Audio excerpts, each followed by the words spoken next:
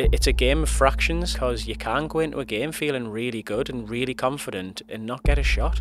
Cue sports is one of the only things where you're sitting there in your chair while the other player's playing. That doesn't happen if you think of any other kind of sport. And obviously the two tournament wins after I last spoke to you. Obviously the game's so tough and to win any tournament's special. Wilson rules the roost in Edinburgh. He is the Scottish Open champion for the second year running.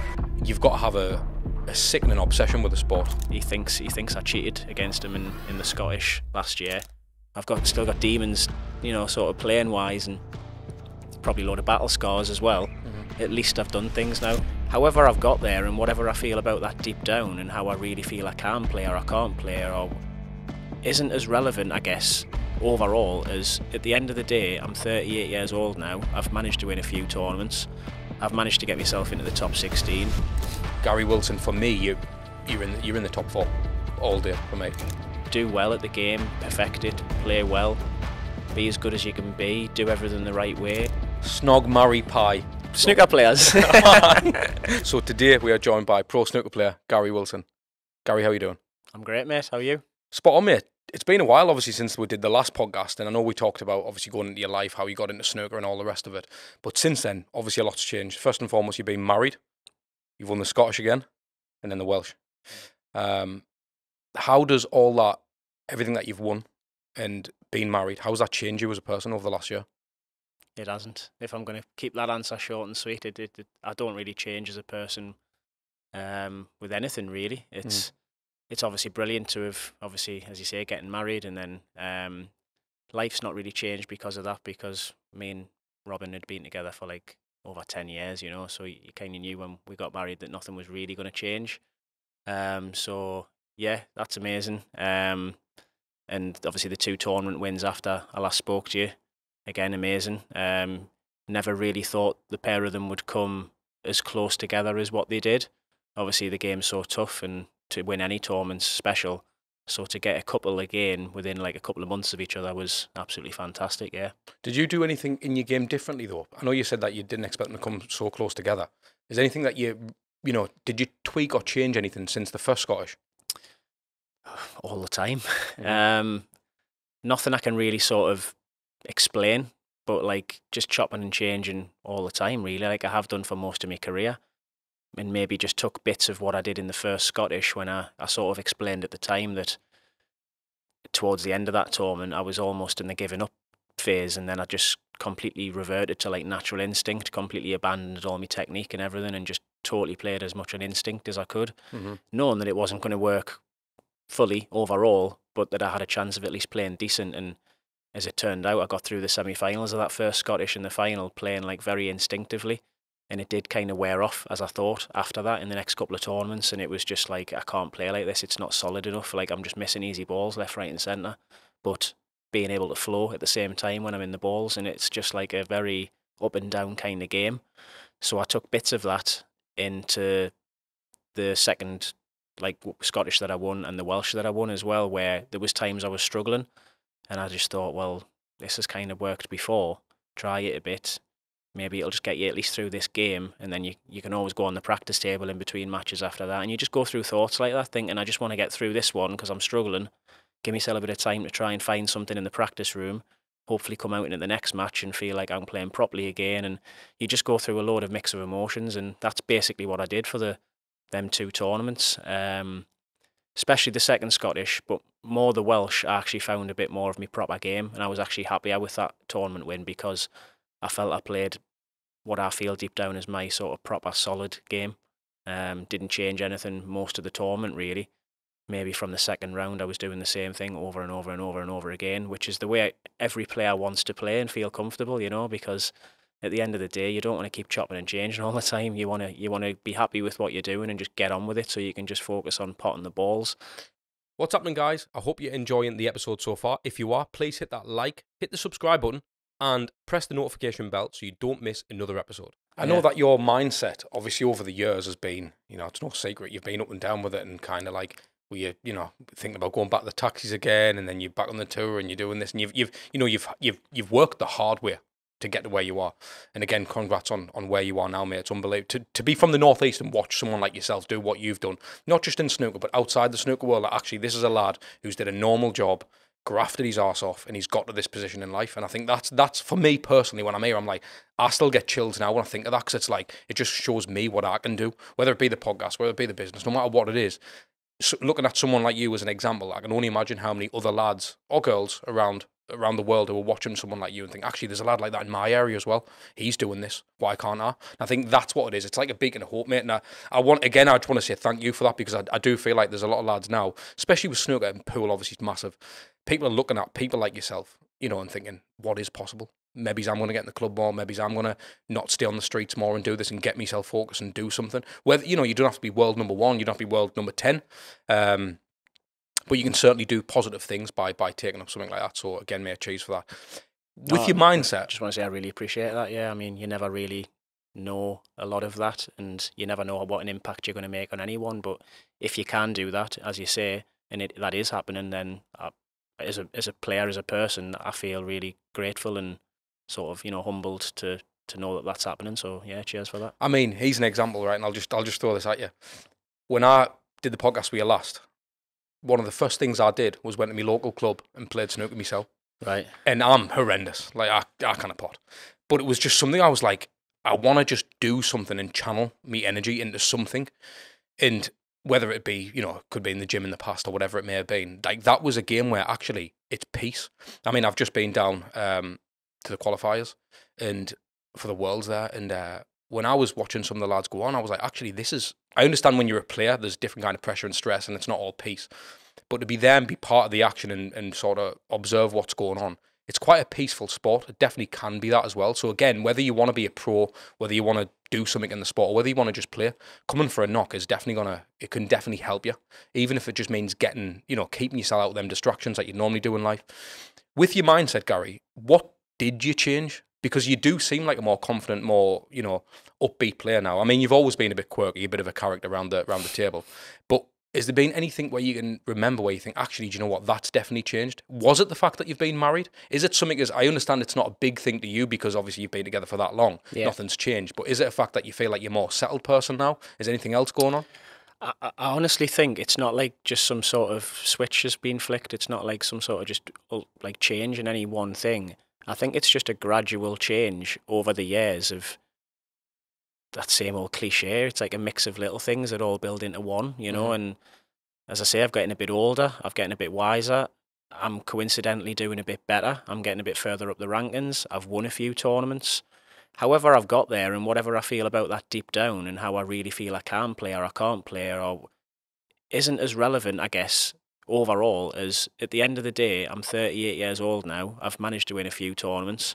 I've managed to get myself into the top 16, and however much I still feel deep down I want to do more, and I can show more, and I can show people I can play better, and that's that's the other part of us. That's the bit Mhm. that's always going to be hungry and wants to show people what I can really do. But the other side of it is now at least there, if you know what I mean. Whereas in the past it wasn't. So in the past I've been dealing with like I can't even show what I want to do, can't even show how I'm playing. I'm not getting anything from it. I'm not enjoying it. And I'm nowhere. I'm sort of 32, 40 in the world, whatever it might be. Um, not even in the top 16. I haven't won a tournament. I haven't done anything. So like you can easily sort of think about your career and go, um, what am I actually enjoying out of this? What am I doing? But at least the other half of that's there now, so I can chill a bit. Do you know what I mean? That, I think that's- that's what it is. I can mhm. chill a bit, even though I've got things that I still want to do. And as I say, I want to do more and play better. And I've got still got demons, you know, sort of playing wise, and probably a load of battle scars as well. Mhm. At least I've done things now, and I think that I think that just naturally has to chill you out as a person. If you can't be chilled by a bit of success and a, and doing pretty well in your sport, even though them things are there, as I say, then when are you ever going to be sort of easy enough on yourself to get on with life and just be a bit more chilled and not be depressed, you know? So yeah, that's it gets easier, I suppose, the better you're doing. Have you brought anyone on board from a mental point of view? Uh, no, not really. I've I've spoke to a couple of people before. Um, I think I've mentioned in previous interviews. Um, there's a little bit of thanks got to go to Josh McLaren, Mhm. um, Steve's son. Um, I sort of spoke to him for a little while a couple of years ago, um, just here and there, and he, he always said, you know, just come down, we'll have a coffee, we'll just have a chat for an hour, and just just wanted to try and help us, you know. And obviously that was his area. He was doing a degree, I think, in sports psychology at the time, and obviously he's doing wonders now with. Um, I think that he was doing it with the women's football team and stuff at Newcastle, and that was that was what he wanted to do. And I was kind of like his guinea pig in a way, and just wanted to try and help us and just learn learn himself about the the sort of position as well. And it did help a little bit, but it got to a point where I thought it's not really for me sort of consistently going forward. I feel like it's too hard to concentrate on everything that you're being told to try and think of and try and play the game at the same time. Yeah. For me, it just didn't work. It was. do you feel like, like you'd be learning from scratch a little bit? A, a little bit, and like you don't necessarily know whether it's any better. Mhm. Like it wasn't like a light bulb moment where I was like, I've been missing this. This is what I kind of need. It wasn't like that. It was just I'm being told to do something totally different mentally now, which makes sense, but doesn't necessarily mean I'm going to play any better. It's, it's if anything, I felt it was probably going to hinder us on the table because I'm trying to think of these thoughts when I'm not even focusing on the game. You're And I think I'm- to other things. yeah, and I you, think? I'm best when I just, I think I'm quite deep down, level-headed and, and strong enough in the head when I'm when things are working and I feel happy in my game. I think I'm good enough in that department to deal with stuff. yeah. So I didn't really find it was gonna gonna help us as such. Maybe just do something different. Uh, But I guess I guess the real test of character is when things aren't going well and how you deal with them, isn't it? For obviously you know how good you are.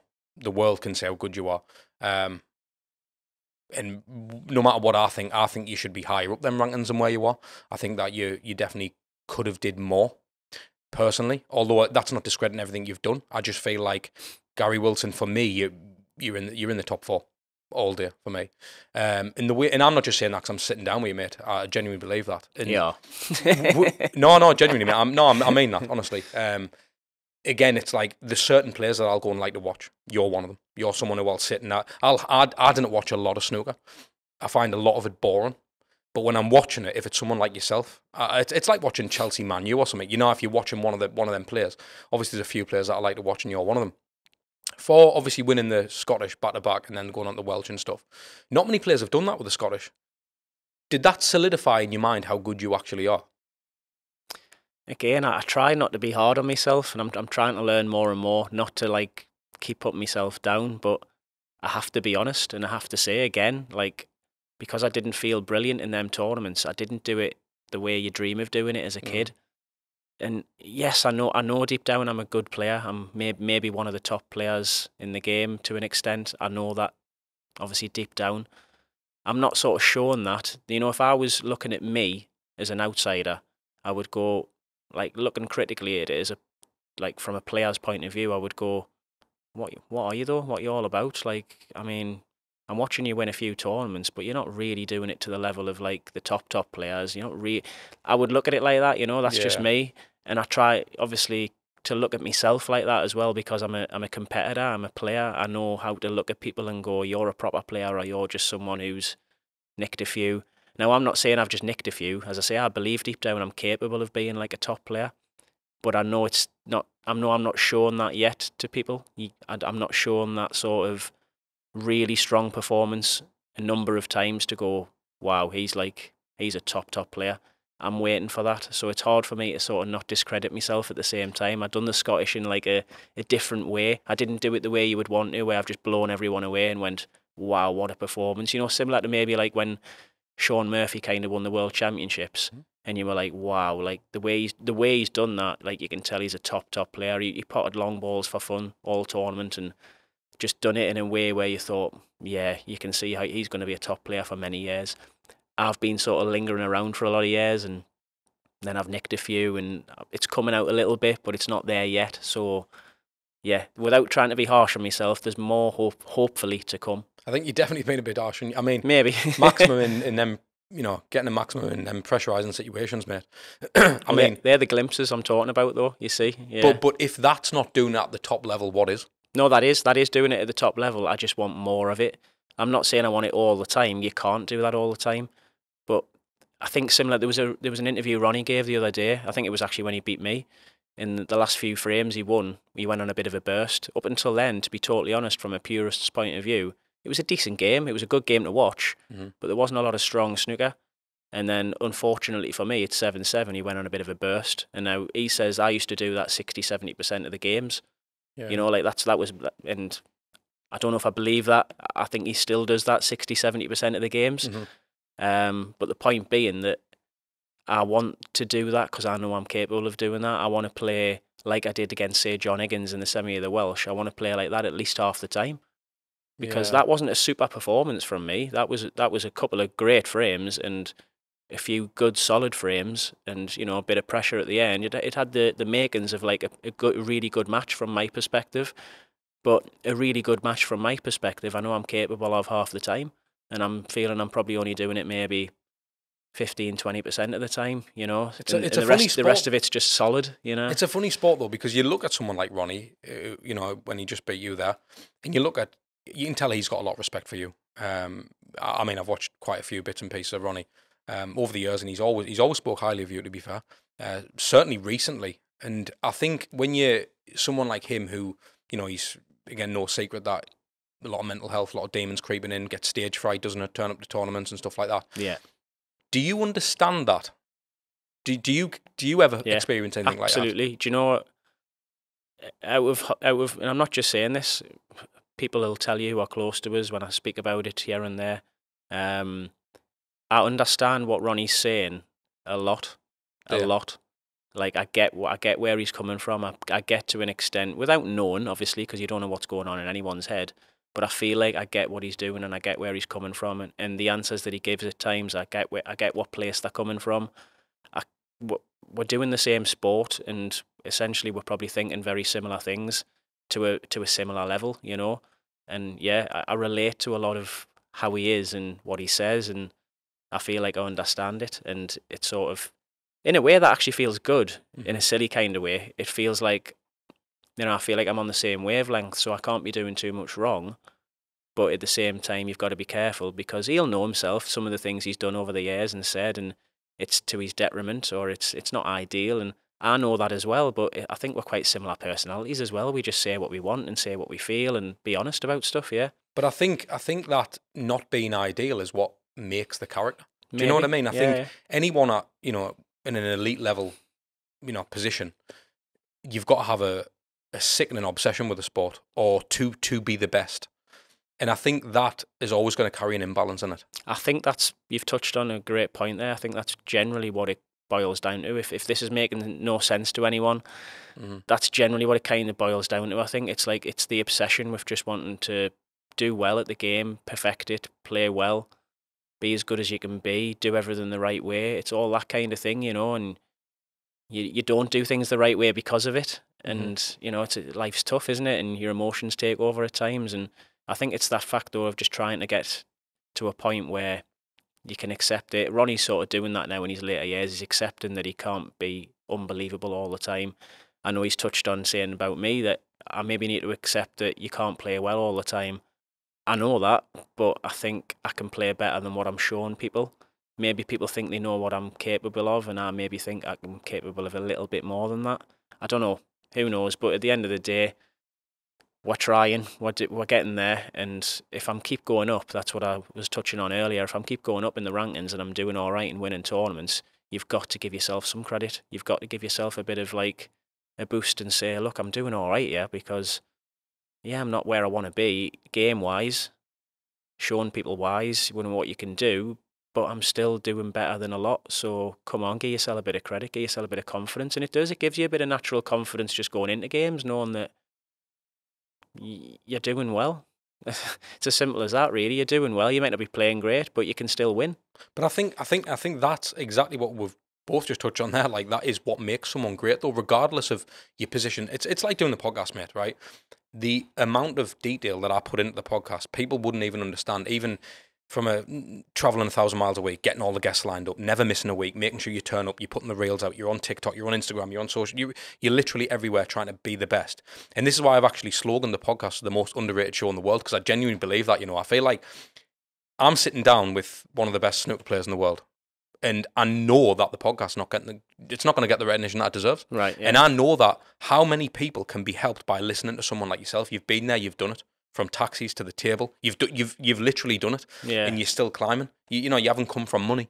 and then you're starting to make money. You're starting to do these fancy things. You know, whether whether it is, you know, getting married to the girl of your dreams, traveling the world, buying nice cars, treating yourself.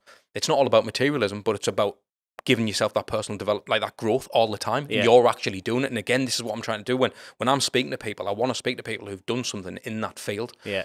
And I feel like we've got to help other people understand that if they're having a shit time or a shit day or things not going the way they want, they can tune into a podcast or Yeah, they yeah. can, you know what, actually, I'm going to go and do that thing. It doesn't have to be snooker, it doesn't have to be boxing, it doesn't have to be the gym. It can be just something. something to inspire you a little bit kind of thing yeah and it, it's tough because if i was obviously listening to something like myself it, it can be probably hard to understand Mhm. you know like you're trying to look for maybe a bit of inspiration of somebody and and all that and when you're talking about a, a game and the specifics and it can eh, so i try not to be too like hard to understand if you know what i mean. I try i try to sort of explain it in a way that people can get because people might watch this as you say or listen to this and not actually play snooker but they just want a sports mentality sort of side from it. And it's tough because you could go what does he mean there? I don't i don't really mean and you don't really probably understand a lot of it until you're doing it yourself. That's experience isn't it? Yeah, of course. so it, for me it, it, these these kinds of things are absolutely brilliant because as you say they inspire people they, they Mhm. can do anyway and i hope i'm inspiring someone 100%. um And and I I'm, sure I try, I try, that's why I try to keep everything as real as I can, as honest as I can, Mhm. because there's no better way, as, as far as I'm concerned, in life. Keep it honest, keep it real. If someone can understand what you're talking about and get it and take something from it, then that's the goal, really, I suppose, of these kinds of things. And I know it's not all about, well, I, guess it is in a way about winning trophies and silverware and, and, and all the nice things that come with that. I want to talk about that because I feel like, again, as much as we want to inspire someone, we also want to show people what is possible. And I feel like because, again, you know, what you what you've done in the last season, I imagine financially things have changed for you for the better. Um, well, I know they will have, but how much has that changed, and how much does that ease your mind, and how much does that put you in a position where you think, you know, actually, I don't have to worry as much now. You know, the the the the, the idea of going back on the taxis is probably not a not a thing I'm going to be looking at now. Or is that something you keep there, keep the fire in your ass? You know what I mean? To be yeah, like, yeah. actually, I mean, that, that, that was probably that was probably more like sort of five, six years ago, I would say, where Mhm. the, the security was there to go, look, we know like 100% now, maybe a little bit longer even, we know 100% now you're not going to be worrying, you're going to be you're going to be a professional snooker player unless something drastic happens and you're going to be able to make a living and not worry about that side of things. I guess in the last few years it's it's turned into more of like right, we can like start ticking the boxes you want to tick off in life, you know, like get your house paid for, get a nice car, get you know all the things Yeah, that you yeah, want when you you're doing better, you know, and that's basically what I'm doing now. I'm sort of ticking the boxes off and just trying to be boring, boring as anything, but just be sensible about stuff and just. I'm, I've never, I think because of, and I think I touched on this before, maybe our last podcast. I've never been one to sort of take anything for granted because of the, because of the life I had Mhm. in the earlier years where I was skint all the time and scrapping for every penny just to go to tournaments and all that kind of thing. It's it's hard for us to shake that off to an extent and just be like, ah, we'll just fling twenty grand here and twenty grand. I can't do it. I just can't do it. I can treat myself. I can I can spend money. I can do what I want on things that I want. Um, I spend money on the things I like. I'll happily spend money on the missus on anything she wants, all that kind of thing. Not a problem. But I'll not just go throwing throwing money away. and, And uh, I'm at well, the position now where I've got enough to sort of go, I could throw money away, but I'm actually going to be sensible about it and start thinking of things like pensions because we're in a kind of sport where you're self employed at the end of the day and you never know what's going to happen. And yeah, just very sensible about it, really. I think what's testament to what you just said. Obviously, people who you know are listening or watching are not going to see what I've just seen in the car park up there. well, that's an just, uh, example. just what you've done over the last few months, and you've bought yourself a, a smart car. yeah. Uh, can you tell us a little bit about that? What was your reason for buying a smart car? Yeah, so um, obviously, like I said before, I've, I've got a nice car. I've got a lovely BMW M340. So it's not like I'm just rolling around in a smart car. I've got a lovely car for up and down the country, going all over the place. But at the end of the day, I was thinking, why am I running that big, lovely car all around the doors, over speed bumps and things, and just wasting mileage on it, parking it up near the club where people can ding your door and all sorts? And I thought, I don't need to. Why, why don't I just get a, like a cheap little run around just for going around the doors and throwing it over speed bumps and round corners and just, you know, it's parking it anywhere you want because it's tiny. And I thought, well, what better thing to get than a smart car? And it just progressed into like seeing a couple of ads online and stuff. And then I was like, oh, there's a convertible one as well, so I'll get one of them because that's quirky as out. If in the summer down the coast and that, just get the roof down, me quirky little smart car. Tell them what colour it is. And yeah, and then I seen this ad, and this guy James, um, down Cheltenham way. So that's a good four hours from me as well. He had a green wrap on his smart car, and green's my favourite colour. So when I seen it, and he had the black wheels and stuff as well, and like sort of black styling on it, and it was a cabriolet, uh, the roof down and that as well. And I thought, wow, that's perfect. As long as everything else adds up, I'm going for this. And it was reasonable mileage and, you know, wasn't too bad a price. And I thought, right, I'm going to get it. And I just thought it's absolutely ideal. So the small, I just took it back last night, uh, four hours up the road. and um, yeah, as you've seen, come, coming in this morning. And it's just going to be an ideal little run around just to go back and forwards with and round the doors and stuff. And it just, it's quirky as anything. So yeah, I, I like to spend my money on things that I'll enjoy, and I certainly enjoyed that last night driving that home. And I think that that's what I mean, though. That is testament to you. It's like it's like that's what I love about people like yourself. It's like salt the earth. I don't know if it's a northeast thing, but it's like you can do all these things in the sport and you can do whatever and you can, you know, you can gain financially and stuff, but then you're still gone up to get the smart car because you want to put the mileage on your other car and you know you just it's it's practical living, isn't it? It's practical, yeah. I mean, say, how many other players at your level are doing stuff like that? I'm assuming you know the splurging all over the place. They're in Dubai non-stop. They're doing this, that, and the other. And I feel like that just goes back to how you are as a character, where you're from, how it all began, um, and the fact that you know you've never had to you don't have to do things like that. Yeah, there's don't get us wrong. I will, and I want to, mm. and I'm going to. You know, mm. like I'll go on holidays as soon as I get the opportunity. We'll go to Dubai or whatever. We'll do all the nice things we want to do to enjoy our life, just without going daft and wasting all your money. Do you know what I mm. mean? And at the end of the day, a little quirky thing like that, that's just me, as you say. That's my character. If I spot something and I put my mind on something, and cars, cars, and sort of gaming stuff, you know, they're the things I'll spend my money on and I'm not bothered about anything else other than mm-hmm. going out with my mates for drinks and stuff and mm-hmm. holidays. As I say, other than that, I'm not I'm not fussed at all the material things in life really, mm-hmm. and that's just a quirky little thing that have I'll you, just enjoy. Aye. Have you tricked yourself other than that? Over the last year, what other than the smart car? As I say, the, the new car, the BM, the M340, mm-hmm. mm-hmm. lovely car, brand new. Yeah, absolutely love it. It's my favourite car. Um, the gaming stuff, as I say, like um, people probably know by now. I, I play a bit of sort of sim racing.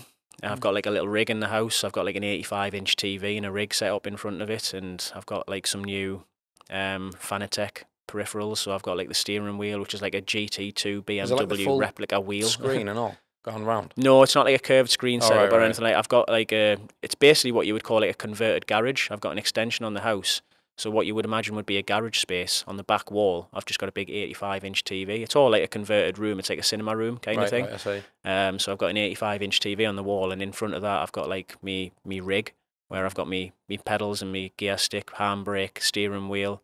As I say, the steering wheel's like a proper replica of a racing BMW GT2 car. You know, yeah, so it's like great little setup, and I haven't had a chance to really play on it much, but I'm hoping when the season's finished to put in a few hours because that's my other little hobby. You know, I love a bit of sim racing. I'd love I love to go go karting whenever I've got the opportunity.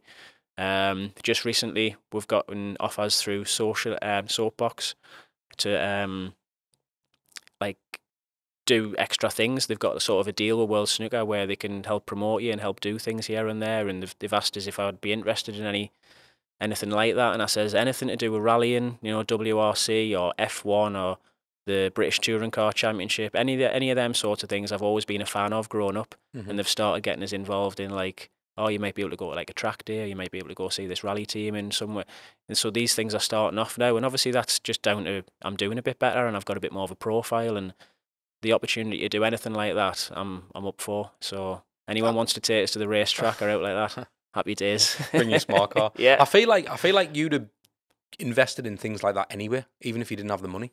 I feel yeah. like you'd have always been interested in trying to get a little rig in your house or something set up. Well, I did. So, so and yeah. that's what I mean. So I feel like even that's not really shown that you've treated yourself. Yeah, I know yeah. you've got a nice car, but but I mean, other than that, is there anything where you've you know it, it's mad to see that? No, nah, I mean, what what else would you treat yourself on? Do you know what I mean? I, I know. It just comes down to the boring, really expensive stuff, you know, like getting a getting a massive house, and you know, we're we're happy where we live. I love where I live. Mm-hmm. Me, me, Mrs. Robin, she loves Wallsend as well. Where where we are is fine. Don't get us wrong. Like there may t- there may come a time where if I'm still doing well, we'd get our final final house. Do you mm-hmm. know what I mm-hmm. mean? But up to now, we're really happy. There's only the two of us. Um, we don't need anything. Does it come into your mind when you're playing? Do you think actually, if I do well here, maybe other things are possible, or do you just think, nah, happy where I we are? I think, to be honest, that's probably actually helped me in the in the respect that I'm not chasing money. hmm I'm not sort Yeah. of looking for like that massive paycheck where I can go, God, if I get this, I can pay for this, and I can get that, and I can pay this off, and it's just gradually happened over the years where I've been able to sort of pay the house off and get a nice car, and then you know you get to a point where you're comfortable now, where you're just happy with everything. I don't need to chase another massive paycheck to go, well, I can get that and I can get that, and I'm not like that at all. I'm happy with what I'm doing and where I am at the moment. If you don't know by now, I run a business called the Content PT. I create content for influencers, PTs, online coaches, and fitness brands all around the world. So if you are someone who's in need for sexy content for your social media, or you really want to maintain a competitive edge in your industry, drop me a DM on Instagram. Do you think you're a one-off in that respect? Do you do you fi- do you find that a lot of people who want to get on the tour and stuff are chasing money, or do you think people are purely, you know, the one silverware, the want almost a legacy, they want to leave something behind, they want the name on their trophies, they want that, or do you think it is for a money thing as well? I, I th- I think it's a mix. I don't think Yeah. it's a one off at all. I think it's a mix. I, I I know sort of kind of for a fact when you're speaking to other players and you see other players, um, more more so obviously the top players, which is easy to say when you're already there. But I mm. know there's players in the past, maybe like Sir Ronnie and stuff, who've never really pl- pay, played for the money. They've Yeah. maybe had money there anyway and mm-hmm. comfortable. But there is players who aren't playing for the money. They're honestly playing for titles probably like Mark Selby and stuff as well. I know he sort of grew up in a council estate, didn't have a mm-hmm. lot of money, but it wasn't about the money as well. Mhm. It was about making yourself comfortable, yes, and making yourself earn a living, and that's what you want to do. But I think a lot of players are literally just that. They just want to get to a point, like myself, where it was like, this is what I do, this is what I want to do, this is how I want to make me living. Anything after that's a bonus. I'm Yeah, not chasing millions, I'm chasing a living. And that's, I think, a lot of players. But yeah, you maybe get the other players who are just dreaming of the success Mhm. in terms of the money side of it. They want to have a rich lifestyle and all that kind of thing. Maybe. Does it does it kill the hunger a bit when you when you do better? I know that sounds mad because I feel like obviously the better you do, the closer you are to bigger goals and Yeah. bigger things. I'm I'm not talking about financial. I just mean in general. Does it kill the hunger? Because for me in business, if if my business is going really well, I feel like I've got that much hunger in us. I don't want to stop anywhere. I think that's just me character. But at the same time, when if there's a certain deal that I get or a certain contract with a certain company or brand or whatever, I feel like actually, you know what, we can chill for a little bit. And I know that's the wrong thing to do. The overall hunger's still there, but on that on the on the now on the thing on yeah. that time, I'm a little bit like actually we can relax. a think bit. that's totally natural. And I think anyone, including myself, goes through that to an extent. Um, as you say, like you, you get to a point where, but I think it's sensible. You get to a point where you're thinking, I don't need that. Mm. but right, what do I not need it or want it for? And you, you just try and be sensible about about it. Like maybe I'm getting off at exhibitions now here and there and everywhere that maybe if I wasn't doing very well, I would have jumped at the chance to go and do and get a bit extra money and stuff.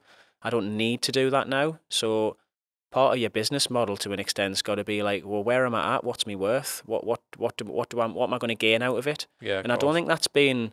It sounds a bit snobby and a bit, you know, whatever, but it's not really. It's just like, no, look, I've got to look after myself as well. If I'm going to be putting my time into this, that, and the other, I need to make sure I'm putting my time into the into the things that are really, really important. Like for me, the big, to- the biggest tournament in the world coming up round the corner and stuff. and it's not being snobby. It's just about segregating your time to what you're worth and what you feel you need. And I don't think that's a bad thing at all. And it's very, very natural to do. Yeah. I think ultimately that's the position you you know you've got to be selfish. Yeah, You've got to be because to be. ultimately like you are looking after yourself. and Time's you- precious, and there's not a lot of it, is there? So. Do you want yeah. kids? Uh, no, I don't think we do. Do you not? So no, Has we- ever been a proper conversation or? Yeah, we, we we've had conversations, me and Robin, for quite a few years. You know, I mean, I'm 38 now, so it Mhm. would get to the point where we're going to have to do it pretty soonish. Mhm. Um, but I've never really fancied it deep down. Mhm. Uh, we're happy enough to get the nieces and nephews round and sort of palm them back off again and go, Yeah, thank you very much, kind of thing. But no, just I've, I've just never been, never ever really. Like even when I was in my twenties, and you know, you start seeing your mates maybe start having kids and things like that, and you're like, I just don't really think I want to be doing that. And yeah, it's just a there's there's people who are the same as me. It's a life choice, isn't it? Where you just think it's not if it's not for me, it's not for me. That's and enough. obviously making sure with Robin as well. Like, Yeah, look, yeah. if it is for you, tell us. You know, like I'm not saying I, w- I definitely won't. I'm just saying I don't think I fancy it, kind of thing. Yeah, of course. And we've had the conversations, and sh- she's she would tell us she's openly agreed and said, look, you know, obviously at first, I think years ago, she would have probably wanted to, and she's just slowly sort of changed her mind over the years, and she got to the point where she's the same on the same wavelength as me, really, where she's like, nah, it's I'm not I'm not really bothered. Like I'm happy enough to have the again the nieces and nephews around and stuff, and we don't really feel the need to have kids. If you Yeah. if you feel the need and it's there inside you all the time, then obviously it's the right thing. But for us, that's just not there.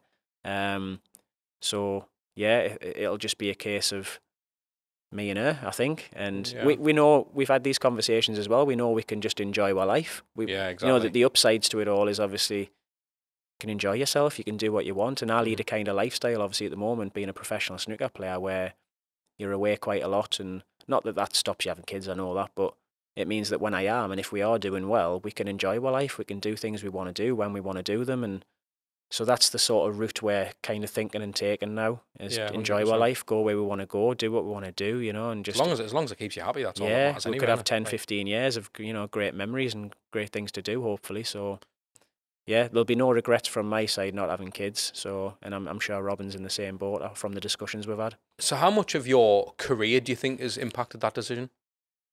Or do you think it's genuinely just a mutual thing, regardless of snooker? Yeah, it's obviously something you think about because you go, you go to yourself like, well, would my career have been harder than it is now, and would I have done as well if I'd had kids? Because obviously there's a lot of time being spent with your kids then, and the pressures of it all, and or would it have been any different? You know, there's there's plenty of players who've got kids obviously, and they've had a great career. Mhm. Would it have helped us? You, you don't really know until you do it, I guess. What what way it would have went? Obviously, I would have had less time to practice, but some say that's helped them. You know, they've maybe thought they've been putting in too many hours and trying too hard, so you never really it's, know. it's I a guess. tricky one, Gary, because I know, like, I've got a little and two and a half year old cheers, and uh, have to say a half because what you keep saying. But uh, I used to work hard before that, and I thought I'm literally my own boss. I'm I'm going for it. Kids, you know, it might change how I think of things. I want to be at home more. I want to do this. I want to do that, which of course I do. But it makes you work. Well, it has for me. It certainly made me work on another. I operate on another level now. Right. And I feel like that's kind of, you know, you can take it one or two ways. And I feel like if you're already setting your way like yourself, like, no, this is what I'm doing, this is my life, and I'm happy, Yeah. then then stick. I would say stick with that decision. I mean, you never say never. You never know what Yeah, yeah. around the corner. But ultimately, mate, I think that's it's always the right thing to do, whatever you do. Yeah. Do you know what I mean? Yeah, I yeah. think it- Wha- Whatever feels right has to be right, and if Mhm. it's not, well, you don't know about it, do you? So what can you do? You can only you can only do what you think feels right and what is right in yourself. And as I say, we both feel that way, and we've both said we feel that way. So we're just gonna crack on and see what happens. Yeah. I was traveling around Bali and that. That was amazing. Um, yeah, it was obviously like a, a, a prolonged honeymoon. Um, we done Bali in the Maldives, so that was absolutely fantastic. Done all sorts of things you wouldn't normally do, obviously, in a normal holiday, like Mhm. washing ele- elephants with mud and all sorts and all that kind of thing. Ah, yeah, crazy, crazy place. And the Maldives was just obviously totally different, just relaxing and. Yeah, what a place that is, by the way. I mean, she, I know she'd love to go back one day, and so would I. It was, uh, it was absolutely amazing. So yeah, I'd love to go back sometime. Speaking earlier on when we were talking about do you feel solidified um, in the sport, when you are doing those things like going to Bali or going on holiday or just not, when you're not genuinely not round the table, do you like to not think about snooker? Because I imagine when you were coming up into the game, you had to be obsessed on Yeah. any level, like always play when you can. Yeah, yeah. Now, do you give yourself like actually no snooker for this period of time? I always have, and that's one thing I've never really changed. Is that, as you say, because I'm so kind of probably obsessed by the game in the sense that it's my job and I want to do as best I can for myself and all that, all that kind of thing. When I'm doing it, I've always been the same character that when I'm not doing it and I'm away from it, like on holiday and things like that, I just don't want to talk about it. I don't Mhm. want. I, I listen. Don't get us wrong. I love. I love it when people come up to us now and say, "Oh, Gary, I, uh, you know, take a photo or whatever, have an autograph, or you might meet someone in a random pub in the, you know." But what I don't want to do is talk for like five, ten minutes about snooker. Yeah. It's the last thing I want to do, and it's not in again in a horrible way. I know they're just wanting to know a little bit of information and just like have a bit of chat with you. And naturally, I'd probably be the same. You know, you go up to someone that you you like or you've seen on the TV, and the first thing you think of talking about is the stuff that they do. yeah, yeah. of course. But there's a little bit of got to be like, well, he does it all the time. He's probably like in his own brain sick of thinking about how he can improve himself and do better and and practicing every day and tournaments. And then when he comes away for a beer or he's going to a concert or he's walking down the street or whatever it may be, you don't really want to talk about snooker. You just want to live a normal life and talk about all sorts of random stuff that your mates talk about, you know. So that's that's always been me, yeah. Has it changed from a fame point of view? Because everybody knows you now. Would do you do you get anxiety? Like I can only imagine. Do you get anxiety at the thought of going into a? I mean, you probably don't do it, but going into a local snooker club now, knowing that people, everyone's going to know you. No, because as much as I've made that sound probably a bit horrible in that I don't want to speak to people about snooker, I love speaking to people. I'm a proper Yeah. open character. Not so much maybe, and again, that's where my split personality is on the tour and in and around tournaments and practice and here and stuff. I'm I'm a certain kind of like serious, like not talking too much kind of personality. Take us away from this game though, and I'm absolutely the opposite. I'm I'm a I'm a bit of a character, and I'll talk about anything and do all sorts of daft things and. So that's why when speaking to people, I'm actually like I actually quite enjoy it because I quite enjoy speaking to people about as long as it's about all sorts of random things and Mm-hmm. you know I just don't want to hear the same old boring questions. You know, like oh how are you playing?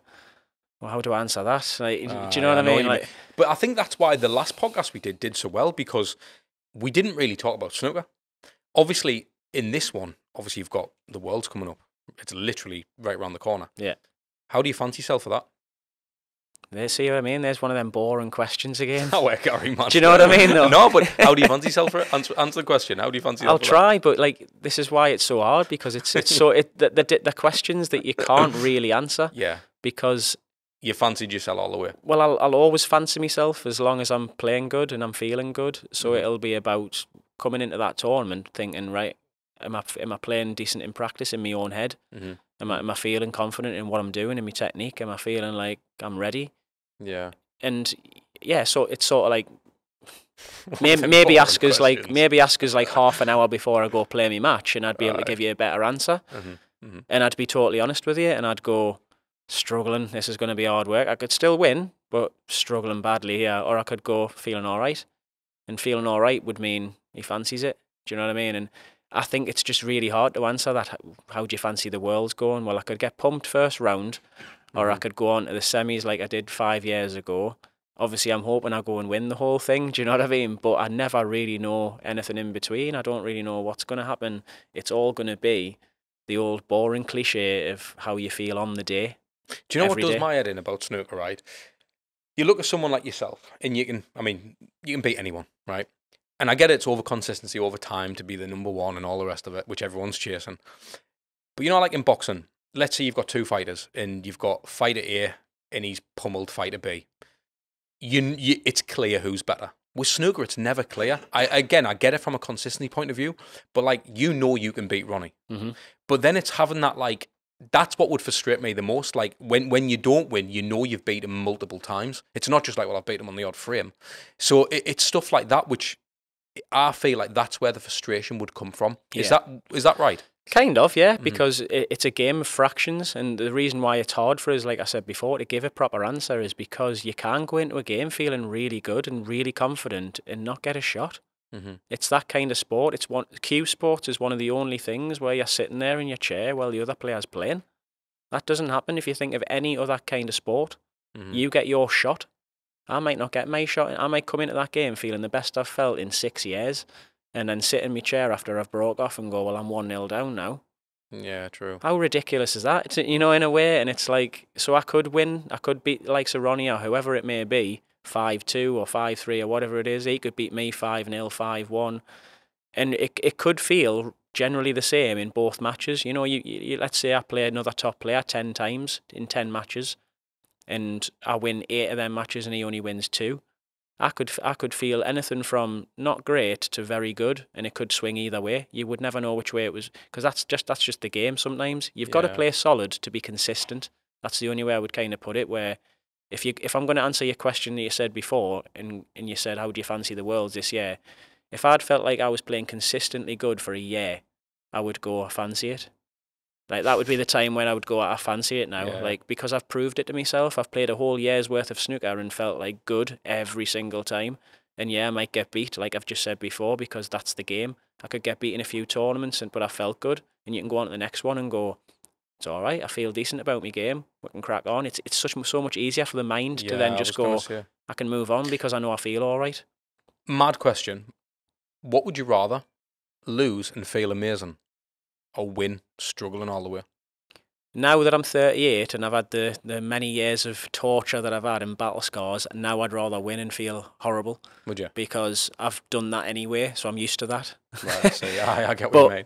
If I if I was younger, you know, if I was what I wanted to be when I was coming through and I was 18, 19, 20 year old again, I'd want to be one of them.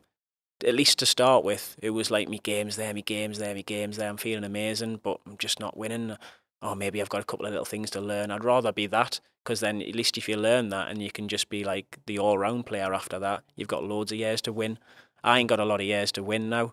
I've got still plenty in the tank. Hopefully, I- I'm hoping to play till I'm 50. You know, Oh, at least at least Oh. I, if I can, I want to play as long as I can. Mhm. Um, so there's still plenty of years there, but there's a lot of battle battle scars. There's a lot of years I've sort of not done as well as I would have liked to have done.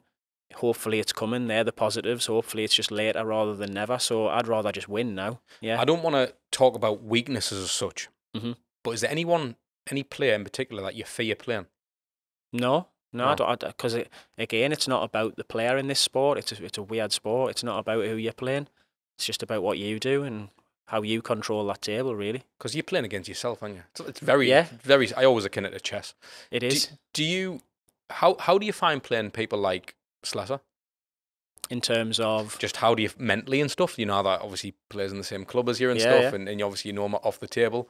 How does that feel when you when you beat him and, and all that type of stuff? Is it almost like a a blessing and a curse because you're beating your mate and you're stopping him from progressing in his life? you've, you've got to not think about it that way. Um, you've got to just basically get on, get on with it. And I've always done that. I've always just tried to be very level-headed and calm about all of that sort, of, like emotionless about all that sort of stuff. Again, like I said before, I'm a different personality away from the table than I am on the table. Yeah. And when it comes to me playing on the table, right, that's all about me to be selfish. That's all about for me just to do what I need to do and not in any kind of bad way forget about whoever it is I'm playing. It doesn't matter. Like It's almost like a, I wouldn't say split personality, but it's when you're in that mode. It's. I listened to an interview recently with uh, Alex Reid, another Mhm. cage fighter. Yeah. And uh, obviously he's a cross dresser and stuff, and he's done all that, and he's passed. But then on the t- on, on in, in the octagon, he's an absolute beast. yeah. And it just goes to show like how you can be so different. And I feel like, do you feel like you almost need that blinkers war mode on, or do you feel like you can be a character on the table and still perform? I, I would love to be a character on the table. I've Mhm. always thought that over the years. Like I'd love to show more of my personality if World Snooker and TV and all that allows. Do you know? I would love to, but at the same time, I felt that if I've if I've done it a bit too much, or I maybe think about doing that a bit too much, it may affect me focus a little bit. Mm-hmm. I think that's just yeah. I need that sort of split personality to an extent. Obviously, in the past, I've had I've done daft things like that back hawk to me hair and stuff and silly Uh-huh. hairstyles, and that's bits of me personality coming out. And it it didn't necessarily put us off, but I thought if I go much further with this and everyone starts making a bigger hype about it than maybe what it is, Aye. I'll the focus will start coming away from me as a snooker player and more as a daft character, you know. And I can be a daft character, but I'd rather save that for my personal life than my snooker life a bit more. I think Because it, it, be- it can quickly become like darts, can't it, when you start going on like that? Yeah, eh, So- I just feel that I like to be as um as boring and monotone as you can when it comes to the snooker side of it Mhm. because that's how I feel I best play. So Yeah. if I'm gonna produce my best results that way, I'd rather stick to that somewhat. Yeah. So you're not wearing your heels for the world.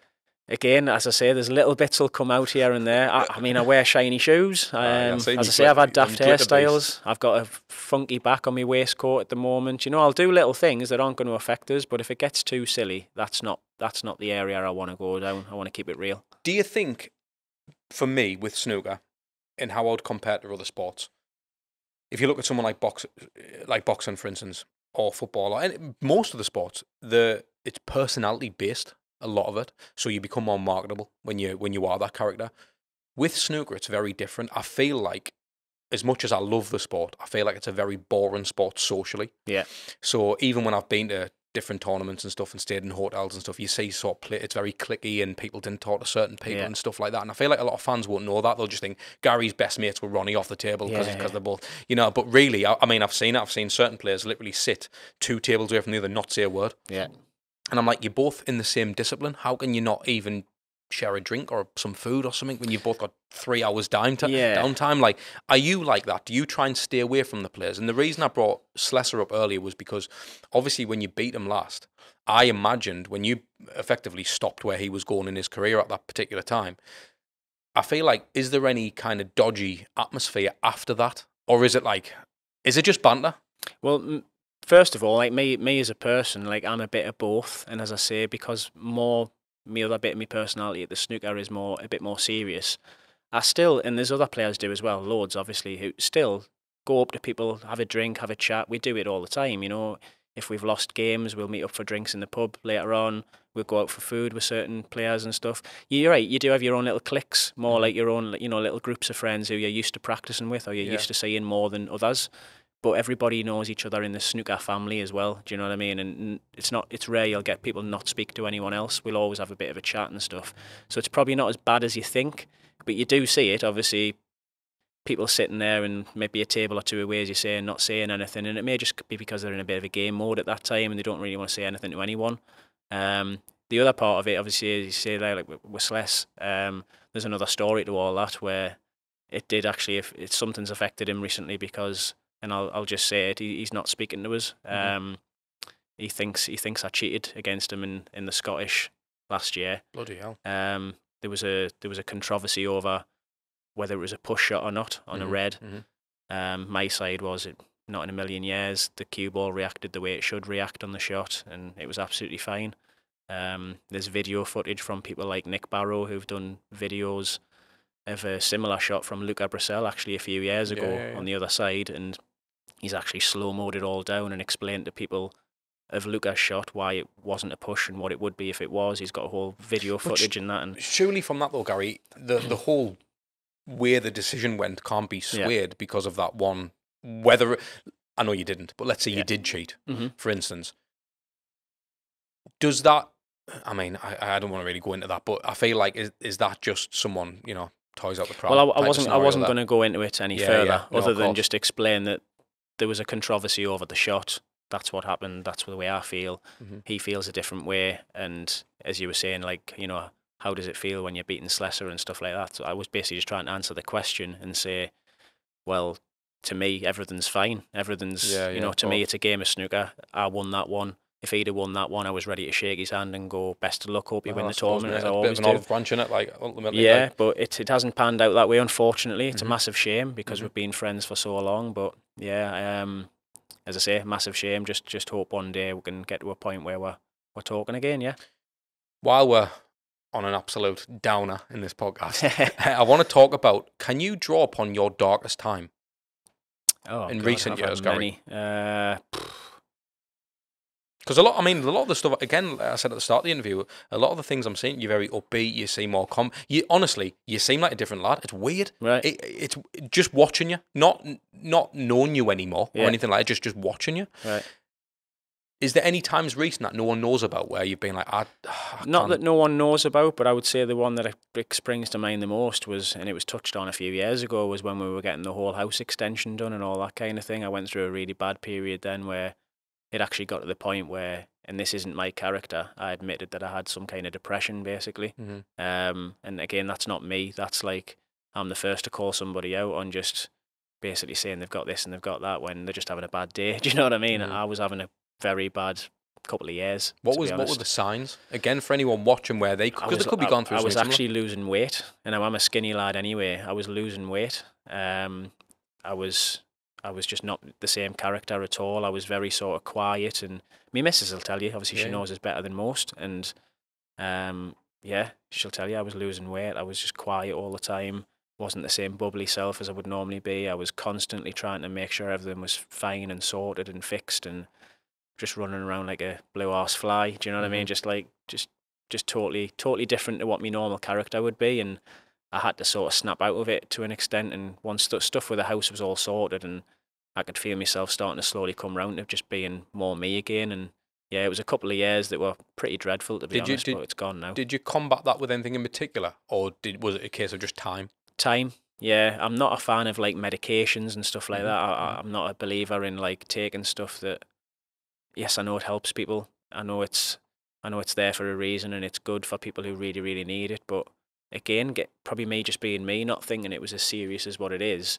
And I do Mm. know I had some depression, definitely, but Mhm. I wasn't feeling the need to take medication for it or anything like that. It was just more try and change my mental state, try and do the things that you do as a person to try and just help yourself, really. Yeah. It's so funny you say that, Gary, about doing your house up and stuff because it arcs back to when I was when I was we were renovating the house. My Mhm. little one was born a few months early, so she was in hospital a lot. Yeah. And I remember I was doing the house up, we were literally knocking walls through, just doing everything to this house. Then I was going to the hospital every night and then nipping through the day and then I was doing my business. And Yeah. I remember, genuinely, mate, I can't remember a lot of that.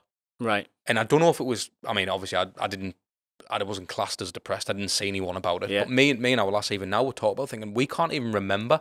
It's like this autopilot mode. And I feel like, again, I want to try and help someone listening and watching. And if they feel like they're going through something like that, where something's just not right, or Yeah. they're losing weight's a bloody great indicator Yeah, of something going wrong.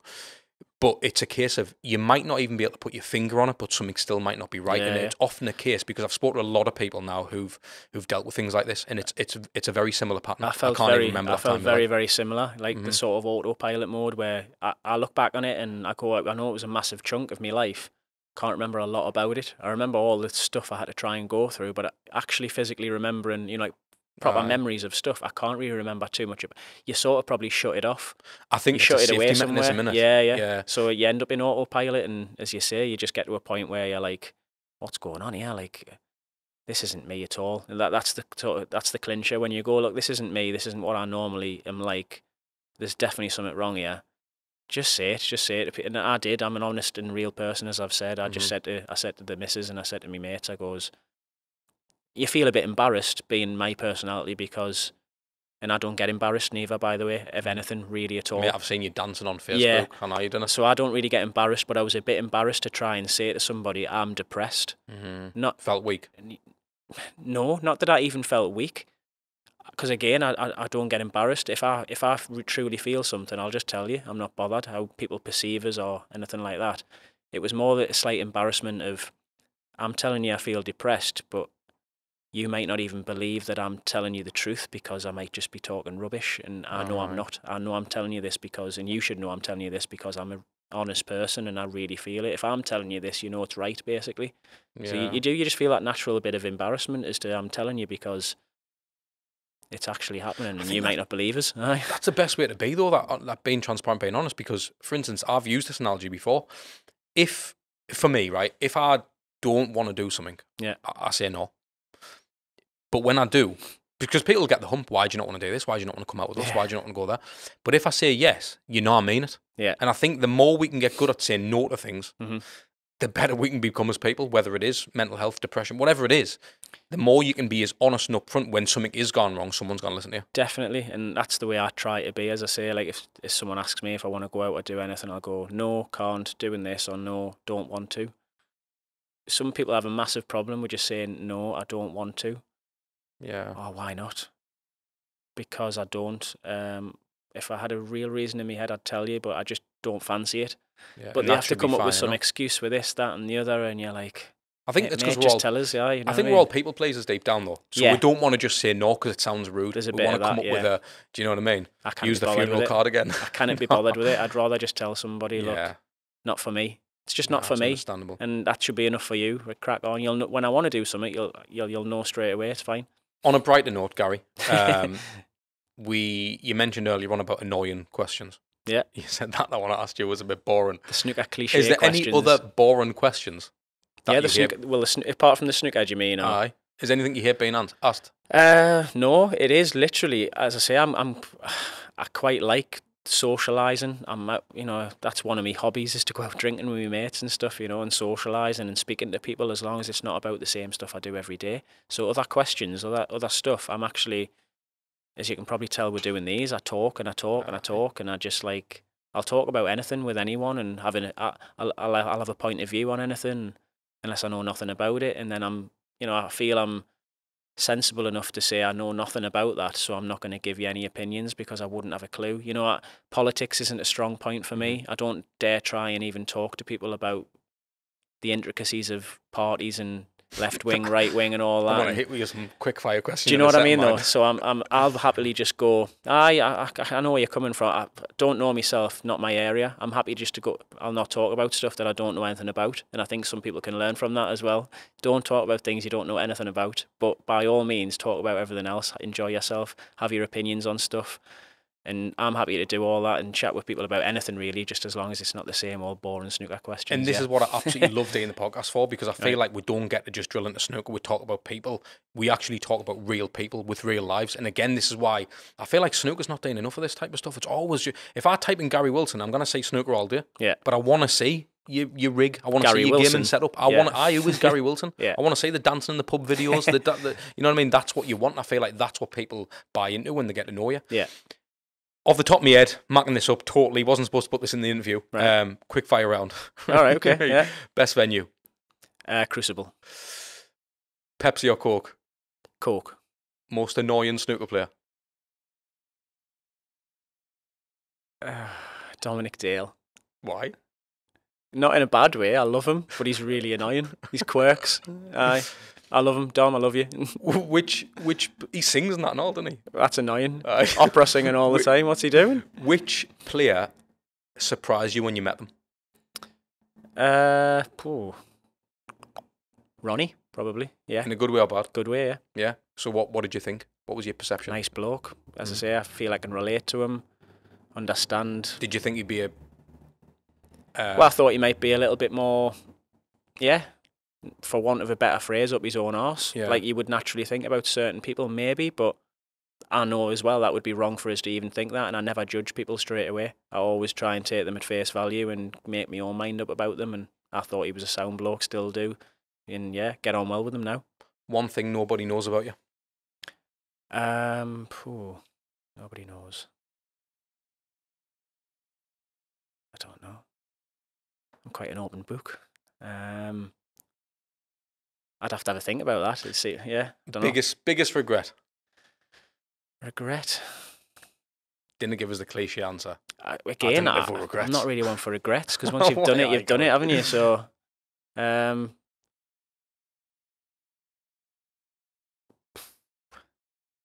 these are hard. These these are hard questions. I- Okay. I, don't have many regrets, and I don't really. Best Yeah, career highlight. career highlight. That would have to be. No, I'm going to put two there because I ha- I can't pick one. It would be winning the first ranking title, the Scottish, but Mhm. and being involved in the semi final of the World Championships as well. Who do you think the toughest player is? Who could have a scrap? Oh, uh, I think I think Stephen Maguire could have a good scrap. Like, do you kn- do you know this or n- no? I don't know it, you know, firsthand, but I the, the rumours go around that he can handle himself. Like, I so I've yeah. always thought uh, Matt Selt. really Aye. right. Okay, He, he just looks like the type of bloke I wouldn't want to. Uh, some sort of like tenacious terrier in there. Do you think? Yeah. some, or Lisowski. I feel like he's like a bit of a. Uh, don't know. I reckon he Right, could because have. he goes to the gym a bit and he could probably handle himself. just a reckon bit so. of taekwondo or something. Aye. Which player do you like the least? Uh, like the least.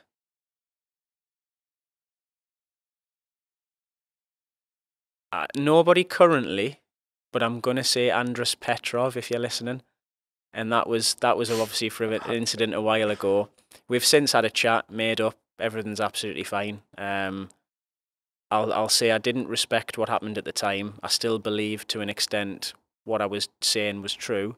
Mhm. That going to the toilet every frame is not necessary, and it's not part of Your mind. your games. human Yeah, yeah, yeah. needs. It was literally, and look, you can feel you're entitled to do what you want to do if it's within the rules to an extent. Go to the toilet, try and break up play, try and try and do what you want. It's not going to affect us. It's not going to bother us. What's going to bother us is the fact that you're trying, and there's no need for it. So I still don't agree with the philosophy of it, philosophy at all. At the same time, as I say, we've had a chat. He's a nice kid. I don't think he means any harm by it at all. And yeah, we're absolutely fine. But at the time, it was Andres. I can't really think of anyone that I don't like now, though. Right, last one. Snog Murray pie. Right. right. Snooker players. John Parrott. Uh, well, Ronnie so there's going to be three, and I've got to pick Snog, Murray Up High. Aye. Different, yeah? Yeah, yeah, yeah. Right, okay. So John first- Parrott, Right. Jimmy White, and John Parrott, Jimmy White, and Ronnie. And Ronnie. Um, And I need a reason for each. I think I'd marry Ronnie because I think we're on a similar wavelength, and I think we'd we'd probably get on really well. We wouldn't have any bad disagreements, and if we did, we'd, we'd probably handle them quite similar. We'd get on really well, I think. So we could we could last a lot of years together. uh, so Snog and Pie, John Parrott and Jimmy White. Who are you I think I think I'll pie Jimmy White because I think he's had enough action over the years. He doesn't need any more from me. and Snog John because I mean, look at the hairline on the guy. He's still got it going, hasn't he? Mind the Scouser accent might get on my nerves. I so- can imagine, imagine you and John Parrott Netflix and chilling like. Gary, cheers for your time, mate. Thanks a lot, Honestly, mate. Appreciate it. Appreciate it. Thank you. So you've made it to the end of the episode. Fair play. If you want to watch more episodes like this, click here.